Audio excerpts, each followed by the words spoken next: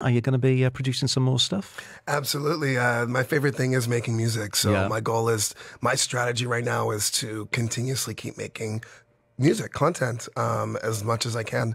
So yeah, there's gonna be a lot more Yeah. coming. I'm just not gonna stop it's my favorite stop. favorite thing to do. tell, tell me who